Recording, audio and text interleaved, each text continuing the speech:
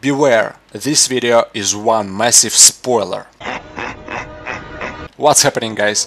MovieWeb.com, a website which gave us some exclusive set pictures of Green Goblin's chamber and a glider, as well as a rumor regarding Green Goblin having a green spiked hair, brings us yet another insane rumor, which, according to them, once again comes from a trustful source.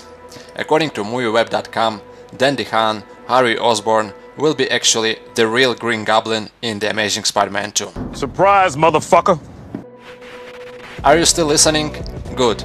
Apparently it comes from their trustful source who was on the set during the final filming day and he confirmed that DeHaan will be the real Goblin. Harry being the Green Goblin isn't something new frankly, we've seen the similar setup, sort of like Harry was the Goblin at some point in the Spectacular Spider-Man TV series and we all know that in the comics he was the Green Goblin later on after Norman Osborn's death and by the end he actually turned out to be a good guy by saving Peter and himself now, they revealed that the final battle will take place at Oscorp's power plant.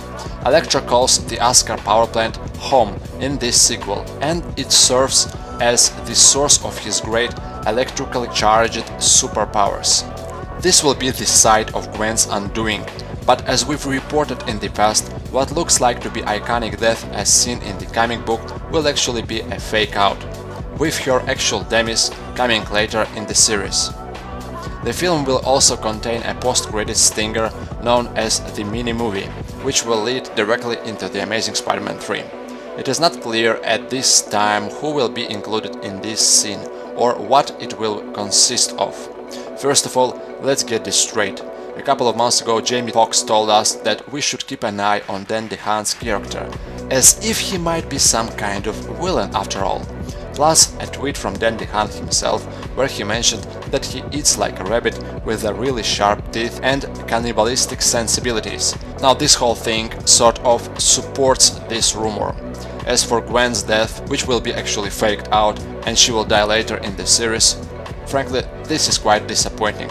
So is this whole rumor.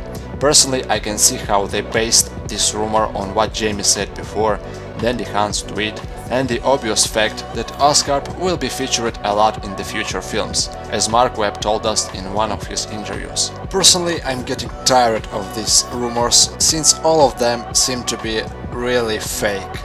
You know, sometimes I wish I could visit the office of such websites which make these fake rumors and tell them You boys ready for your cock meat sandwich?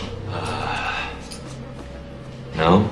Well, you better get hungry real fast, because I got a whole lot of sandwich waiting for you. Yeah! Holy shit! Alright, let's get going. It's up to you to believe it or not. Personally, I leave it just like that. While it looks like a quite an interesting idea, the fact about Harry Osborn being the real Green Goblin might piss off a lot of fans. Let me know what you guys think, and I'm out for now.